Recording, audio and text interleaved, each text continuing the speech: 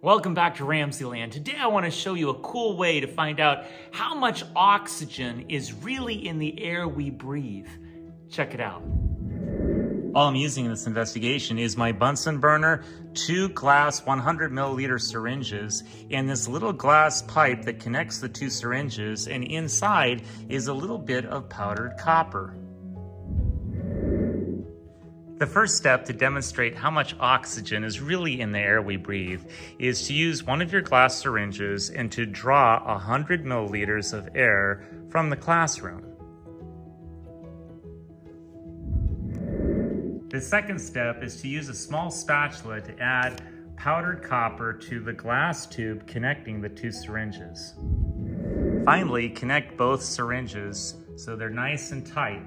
Notice that one syringe has no air inside and the other syringe has been drawn back to 100 milliliters of air from the classroom. Now you're ready to turn on your Bunsen burner and watch what happens to the copper inside the glass rod as we slowly push air from one syringe to the other syringe, back and forth slowly, about 15 to 20 times. You'll see the copper inside the glass tubing changes color during this reaction. Okay, once your Bunsen burner is on, you're gonna put it right underneath that powdered copper and it's gonna start to oxidize the copper as the copper turns from brown to a darker black. Now as this is heating up, I'm going to push one syringe so that it passes air over the copper. And I'm gonna do this back and forth.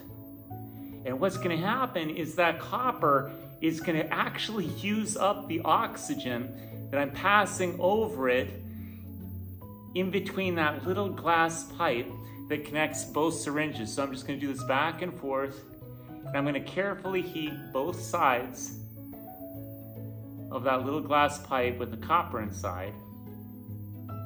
And I can see it darkening. And after I do this about 15 to 20 times, I should see that there's less oxygen inside the syringe because some of that oxygen has combined with the copper to create copper oxide. So keep moving this back and forth. And I can see that the copper is definitely changing color in the pipe as it turns from brown to black.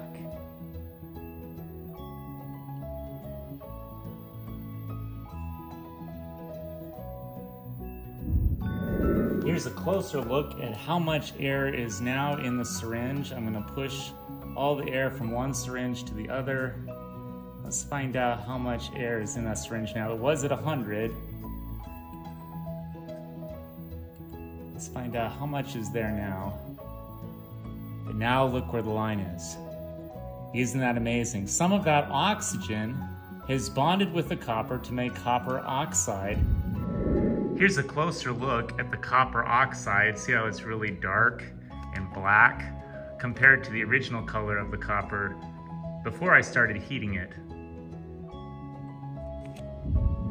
Okay, so for some of our final results, I waited a few minutes for this to cool down because you know hot air expands and cold air contracts. And so I wanted to let the air inside this syringe to contract a little bit so I could really see the difference. We started with 100 milliliters of air and now we're down to 80 milliliters of air in this syringe. And you can see this one's pushed in all the way. So if I subtract 100 minus 80, that means that about 20% of the air in this syringe was pure oxygen that's now bonded to the copper to make black copper oxide. So we've determined that at sea level, there's 20.9% oxygen in the air we breathe. And 70% of that is nitrogen and some of it's carbon dioxide and a very small amount of it's argon. But I filmed this in Indianapolis, Indiana, and we're 719 feet above sea level. And the higher you climb in altitude, the less oxygen is in the air we breathe. So let's take a look at the equation in this reaction between copper and oxygen oxygen. This is a redox or reduction oxidation reaction where the copper, the Cu, is losing two electrons. It's the cation. And as it loses those electrons, it's being oxidized, and the oxygen is being reduced as it gains two electrons. It's the anion. And so as oxygen gains two electrons and copper loses two electrons, this creates an ionic bond of copper oxide. That's the CuO. That's the black product that you saw inside the glass tube between the two glass syringes.